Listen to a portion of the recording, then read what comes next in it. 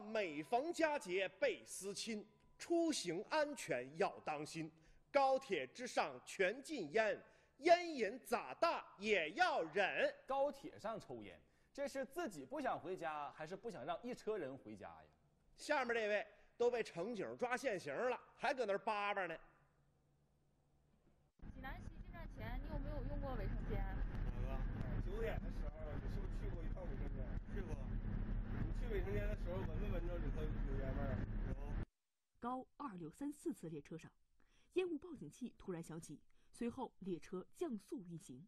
当烟雾报警器响了之后呢，他是第一个从卫生间里出来的，呃，而且他神情也有一点可疑，所以我们觉得他吸烟的可能性最大。面对民警的猜测，这名男子立刻否认。打火机都没抽没抽烟啊？抽没抽烟？上车了没有抽？你身上有烟吗？有烟。拿出来看一下。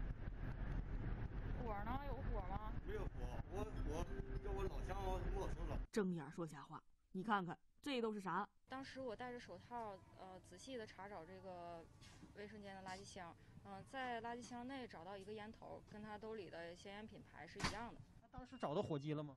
呃，当时找到火机了，呃，当时也在他身上吗？呃不在他身上，在这个高铁椅背的这个后边。火机，你扔哪儿了？火机，你的烟是吧？男子承认他是第一次在高铁上吸烟。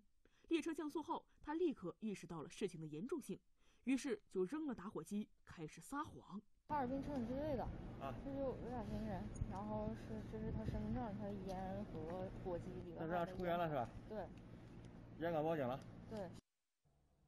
列位好吞云吐雾的，而且瘾比较大的，咱们在这儿得给您普普法。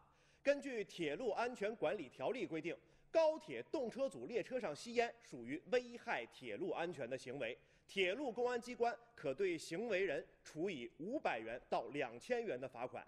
除此之外，在高铁动车组上吸烟还可能面临行政处罚，并列入失信人员名单。